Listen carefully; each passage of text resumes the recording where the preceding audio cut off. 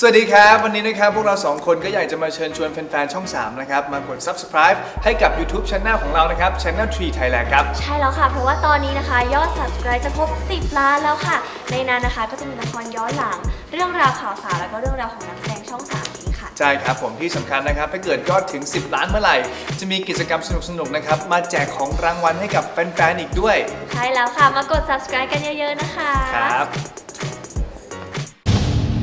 เรามาด้วยความซื่อ แต่กลับคิดร้ายทำร้ายกัน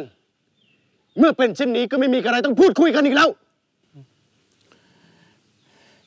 ท่านเจ้าคุณจันทบูรณ์ ไม่ควรจะทำเช่นนี้เลย เรื่องนี้อาตมาภาพทั้งสี่ไม่เคยรู้มาก่อน เป็นความสัตย์จริง ขอโยมโปรดพิจารณาด้วย พระคุณท่านอย่ากังวลเลย โยมรู้ ว่าพระคุณท่านทั้งสี่ถูกหลอกใช้ หาไม่ คงไม่ติดตามโยมมาด้วยกันเป็นแน่ ขอถวายพระพร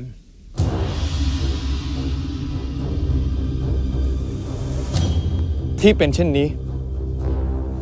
คงเป็นเพราะไอ้าพระยาพลเทพอยู่เบื้องหลัง หากข้าพเจ้าคาดเดาไม่ผิด ทั้งหมดคงเป็นแผนของมันพระเจ้าค่ะ นี่มันอยู่ข้างพญาจันทบุญหรือนี่เหตุใดไอ้คนชั่วชาติมันตายยากท่านเวลานี้กล่าวได้ว่าเราคับขันนัก โดยล่วงมาไกลจะถอยก็ถูกตามตี จะตั้งรับเช่นนี้ก็คงได้อีกไม่นาน ขอพระองค์ทรงมีพระบัญชา มีว่าอย่างไร วงข้าพเจ้าจะทำตามโดยไม่บ่ายเบี่ยงเลย หนทางรอดมีทางเดียว คือเราต้องบุกยึดจันทบูรณ์ในคืนนี้ให้จงได้ สิ่งที่เราทำมาทั้งหมด ก็เพื่อจะกู้บ้านกู้เมือง ให้อาณาประชาราษฎร์ได้ทำมาหากินกันอย่างเป็นสุข สมณะชีพามและนักบวชลัทธิต่าง ๆ สามารถประกอบกิจพิธีกรรมกันต่อได้ หากเราต้องมาพ่ายแพ้ในวันนี้ ก็ไม่ต้องคิดถึงการใหญ่ในภายภาคหน้าอีกแล้ว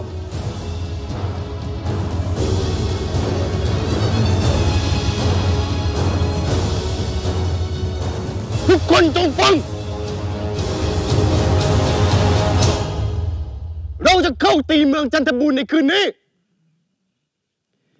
เมื่อกองทัพหุงข้าวเย็นกินเสร็จ ทั้งนาย ทั้งไพรให้เทอาหารที่เหลือทิ้ง และต่อยหม้อเสียให้หมดไม่ไปกินข้าวเช้าด้วยกันในเมืองจันทบูรณ์หากตีเอาเมืองไม่ได้ในคืนนี้ ก็ต้องตายเสียด้วยกันทั้งหมด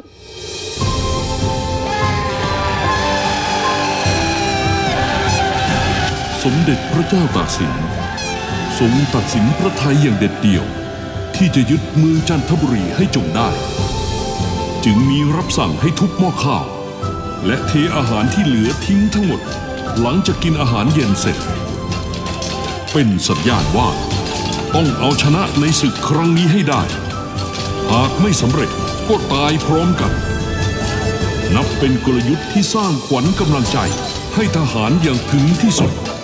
ซึ่งไม่เคยมีมาก่อนในประวัติศาสตร์ชาติไทย